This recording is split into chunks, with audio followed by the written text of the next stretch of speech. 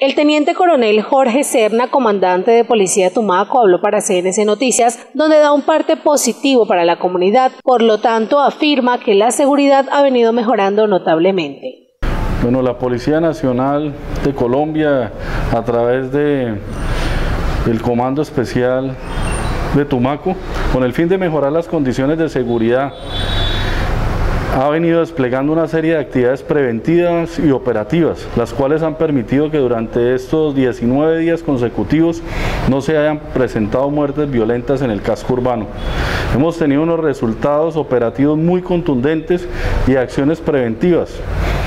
En esta zona urbana de Tumaco tiene incidencia la RAER de Contador y el bloque occidental Alfonso Cano quienes son los principales dinamizadores del homicidio en este sector. Por tal razón, en el marco del Plan Tumaco Seguro, se priorizaron ocho barrios, Viento Libre, El Bajito, La Floresta, Buenos Aires, Nuevo Milenio, Esporcol y El Obrero, y ocho puntos fijos estratégicos de control para generar toda una afectación a estas estructuras. Y estamos las 24 horas los policías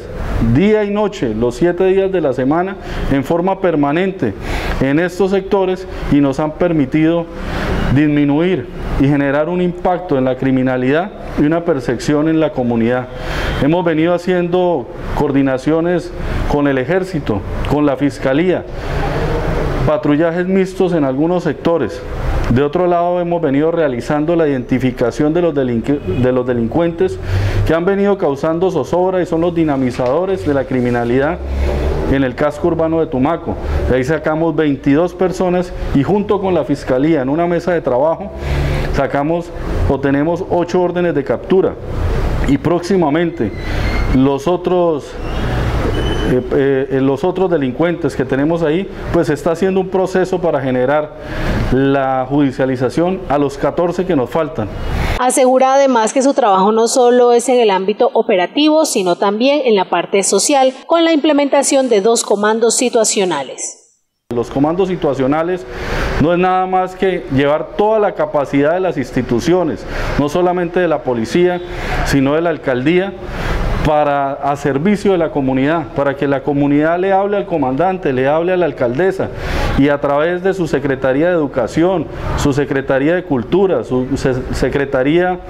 de Deporte, pues se genere toda esa capacidad para poder llegar especialmente, especialmente hemos venido haciendo un trabajo con los niños y con esa eh, comunidad vulnerable para poderlos también arrancar de la delincuencia.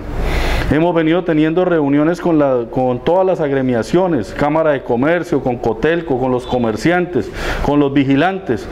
Entre todos tenemos que fortalecer y trabajar por la seguridad de Tumaco. La seguridad de Tumaco no solamente es de la policía, es de todos nosotros y aquí tenemos que generar toda una orquestación estratégica en, en, la seguridad. Los medios de comunicación, los medios de comunicación son muy, muy importantes en la difusión de todos los planes que está realizando la policía, de los planes que está eh, realizando las fuerzas militares y todas las acciones que tenemos preventivas de la mano de nuestra alcaldía.